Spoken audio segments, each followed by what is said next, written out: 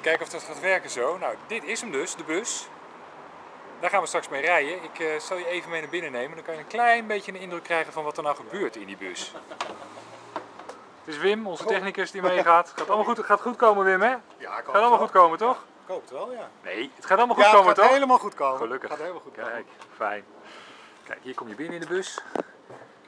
Dan heb je daar het stroomgebeuren dat natuurlijk heel erg belangrijk is. Dit is eh, de benedenverdieping. De ballonnen liggen klaar voor de luisteraars die meegaan.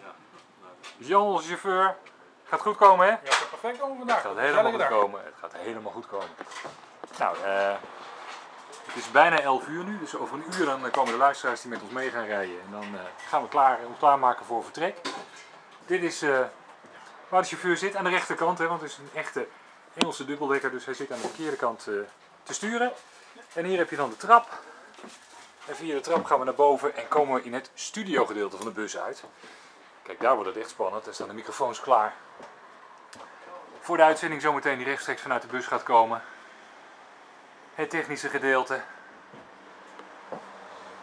Met het apparaat dat de verbinding gaat verzorgen. Nou, dat wordt nog heel spannend. Zes mobiele verbindingen tegelijk, waarvan hij automatisch elke keer de beste uitzoekt om een verbinding te maken met, eh, met de studio. En eh, verder achter in de bus de plekken voor onze gasten, de luisteraars die met ons gaan eh, meerijden naar Veldhoven. En als het goed is komen we hiermee rond kwart voor vijf aan op de plaatsen in Veldhoven. Dat rond half zeven vanavond door de burgemeester wordt omgedoopt tot knooppunt Kranenbarg.